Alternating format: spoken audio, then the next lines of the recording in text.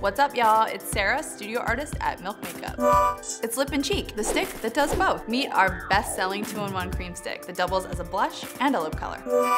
We are very into multitasking. Lip and Cheek is a super easy way to add a pop of color on the go or whenever you want. It'll give your lips and cheeks the perfect flush in one swipe. Keep swiping for extra color payoff. Mango butter, avocado oil, and apricot oil hydrate skin and help the formula blend seamlessly onto the lips and cheeks. Just swipe, blend, and go for instant happiness. No mirror required.